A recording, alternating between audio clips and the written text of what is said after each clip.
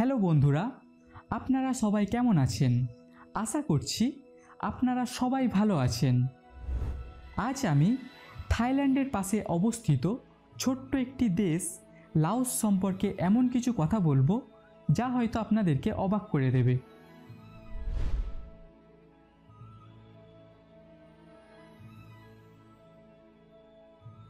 Laos দক্ষিণ পূর্ব এশিয়ার মধ্যে একমাত্র দেশ যা চারিদিকে অন্যান্য দেশ দ্বারা ঘিরে রয়েছে। আর ম্যাকং নদী ছাড়া এই দেশটির কোনো অংশই সমুদ্রের সাথে যুক্ত নয়। এই দেশটির মোট জনসংখ্যা প্রায় সত্তর লাখের কাছাকাছি। লাওসের বেশিরভাগ লোক গ্রামে বাস করতে পছন্দ করে। এখানকার মাত্র থার্টি ফাইভ পার্সেন্ট লোক শহরে বাস করে। লাওসের সংখ্যাগরিষ্ঠ লোক বৌদ্ধ ধর্ম পালন করে। এই দেশের মানুষের মধ্যে ভগবান বুদ্ধের জন্য অপার শ্রদ্ধা রয়েছে। আপনারা এই দেশটির প্রায় সব জায়গাতেই ভগবান বুদ্ধের মূর্তি দেখতে পাবেন। বলা হয়ে থাকে, এই দেশটিতে এমন কোনো গ্রাম নেই যেখানে ভগবান বুদ্ধের প্রতিমা নেই। আপনারা এটা জানলে খুশি হবেন যে, এই দেশটির আবহাওয়া খুবই সুন্দর। এই দেশটির তাপমাত্রা বাইশ ডিগ্রি সেলসিয়াস থেকে চৌত্রিশ ডিগ্রি সেলসিয়াসের মধ্যে থাকে। না এখানে খুব বেশি গরম পড়ে, না খুব বেশি ঠান্ডা পড়ে। আপনাদেরকে বলে রাখি যে, লাওসকে দু হাজার তেরো সালে ইউরোপিয়ান ট্যুরিজমের দ্বারা দ্য বেস্ট কান্ট্রি টু ভিজিটের উপাধি দেওয়া হয়েছিল। দু হাজার বারো সালে এই দেশটিতে ঘোরার জন্য একত্রিশ লাখ লোক এসেছিল, যা আজও লাওসের জন্য একটি রেকর্ড। এই দেশটির সোর্স অফ ইনকামে ট্যুরিজম সেক্টরের ভারী যোগদান রয়েছে। লাওসের অনেক লোক পর্যটনের উপর নির্ভরশীল। এই দেশের কফি বিশ্বজুড়ে খুব জনপ্রিয়। এই কারণে এখানকার কফির চাহিদা অন্যান্য দেশগুলিতে অনেক বেশি, বিশেষ করে ইউরোপিয়ান দেশগুলির মধ্যে। আপনারা এটা জানলে অবাক হবেন যে এই দেশের কফি দক্ষিণ আমেরিকার দেশগুলিতেও রপ্তানি করা হয়। তো বন্ধুরা, আপনারা কখনো দ্য ভিয়েংজাই কেপসের নাম শুনেছেন? যদি না শুনে থাকেন, তো আমি আপনাদেরকে বলে দিচ্ছি, এটি বিশ্বের সবচেয়ে অদ্ভুত গুহাগুলির মধ্যে একটি।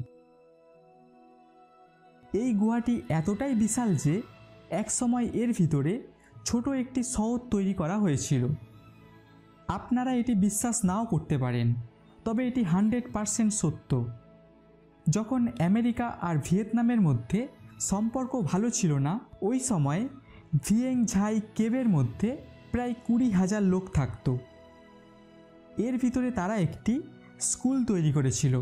এছাড়াও তারা নিজেদের অফিস এবং মার্কেটও এখানে বানিয়ে রেখেছিল। বন্ধুরা, আপনাদেরকে এটাও বলে রাখি যে, এই দেশের লোকেদের মধ্যে প্রেমের নেশা সব থেকে বেশি। এখানকার সিক্সটি ফাইভ পার্সেন্ট বিয়ে লাভ ম্যারেজের মাধ্যমে হয়। ভারতের মতো লাওসও বহু বছর ধরে ইউরোপিয়ান দেশগুলির গোলাম ছিল। এখানে ফ্রান্সের শাসন ছিল। লাওস উনিশে জুলাই উনিশশো ঊনপঞ্চাশ সালে ফ্রান্সের থেকে স্বাধীনতা লাভ করে।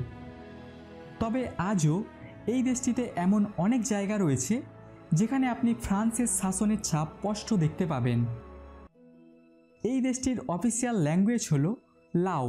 এখানকার লোকেরা জেনারেলি নিজেদের মধ্যে এই ভাষাতেই কথা বলে। পৃথিবীর মধ্যে সবথেকে সস্তায় অ্যালকোহল লাওসে পাওয়া যায়। আপনাদের বিশ্বাস হবে না, এখানে এক লিটারের অ্যালকোহল কখনো কখনো ষাট টাকার আশেপাশেই পাওয়া যায়। এখন আপনাদের মনে হতে পারে, এটা কি করে সম্ভব? তো বন্ধুরা এখানকার লোকেরা রাইস হুইস্কি বানায়, যা খুবই স্ট্রং হয়ে থাকে। সাউথ ইস্ট এশিয়ার মধ্যে সব থেকে পুরনো হিউম্যান স্কাল এই দেশে পাওয়া গিয়েছিল। বলা হয়ে থাকে এই কঙ্কালটি ছেচল্লিশ হাজার সাল পুরনো। ভাত খাওয়ার দিক থেকে এই মুহূর্তে গোটা পৃথিবীর মধ্যে প্রথম স্থান দখল করে রেখেছে লাওসের লোকেরা। এখানকার স্টিকি রাইস স্থানীয় লোকেদের মধ্যে খুবই জনপ্রিয়।